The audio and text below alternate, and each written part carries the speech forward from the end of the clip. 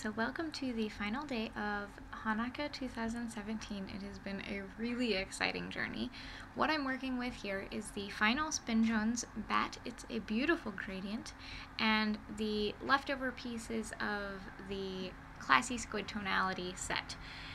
So right off the bat, I knew that I wanted to tone down this really poppin' turquoise and pink action. So I blended it together in hopes of getting sort of a lavendery kind of thing, which I did. I could have continued to blend it more, but I felt like once it was spun, it was going to chill out even more. Um, so I did this on my hand cards because there was only a little bit of fiber.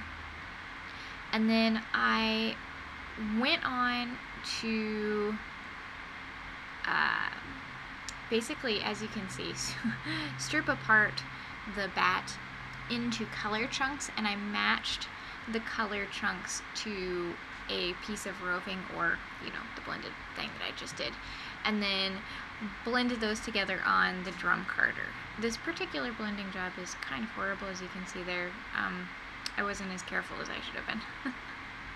but I blended them together and my goal here was to preserve the gradient of the batt and the roving and use the batt as kind of the add-ins. So I've mentioned in a couple other videos that using the batt as, or blended top as an add-in rather than a standalone fiber is a really excellent way of bringing interest to your fiber. So if you are a more traditional smooth spinner, then you may feel really nervous about bringing in crazy add-ins. If you're on a budget, you may not have a lot of ability to just purchase bulk amounts of fun stuff. But there's a way for you to get around that. So if you purchase a even a sample set of blended topper batts, then you can use those as add-ins. For example, here you can get a fairly large chunk and blend it with other fiber and mellow out the batt, or if you were using pop-in fiber, you could spice up the batt.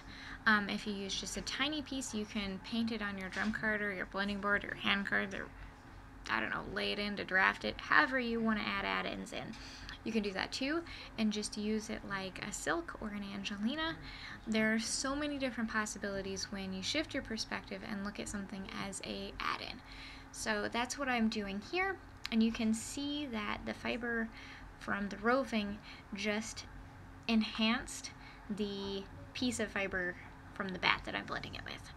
I really think that this was an excellent technique and it didn't take anything away from the batt or the roving, it just made it better together. Um, another tip when you are blending, um, A, you should be blending slower. Uh, I was in a big hurry because the baby was asleep. But um, when you feed it in for a double blend, make sure that you put it in sandwich style so it's stacked one on top of each other. Because if you lay it on its side and just feed it in sort of striped style, it's going to just end up on your drum also striped style. so that's my thoughts about blending with quote quote finished fiber and using it as a ingredient rather than a finished product. So you can see the gradient there.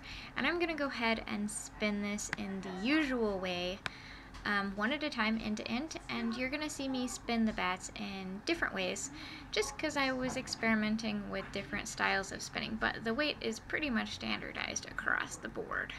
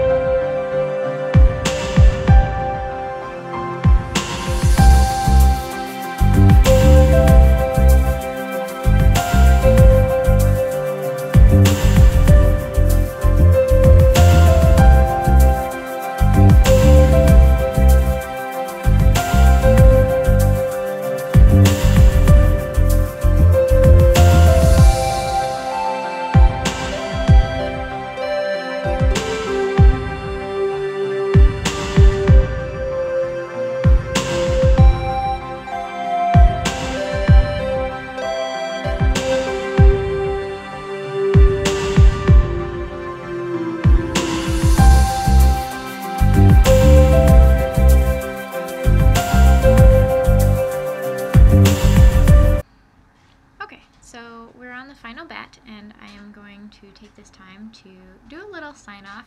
It has been fantastic. I am pre filming all of these and putting them to schedule because, like last year, I'm off the grid. Once Hanukkah begins, I take all of my holiday leave and I won't be back until the first of the year. So, um, just know that I'm looking at your photos and your comments and really enjoying the response that you guys are giving to this. Um, this has been really fun. This is one of my favorite projects of the year, even though it is so crazy and stressful. And technology this year was not the Hanukkah miracle. In fact, it was the Hanukkah disaster. But there have been plenty of other Hanukkah miracles to be had. And I'm just really thrilled that I had another season with you guys. This is the end of season two and I will be back in the future with season three.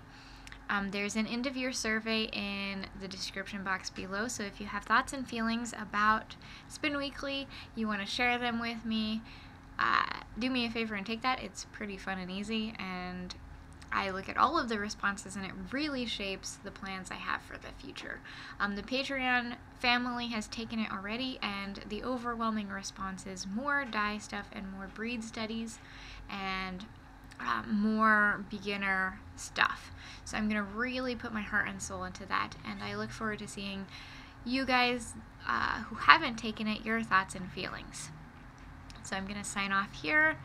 As usual, this is brought to you by the Patreon people.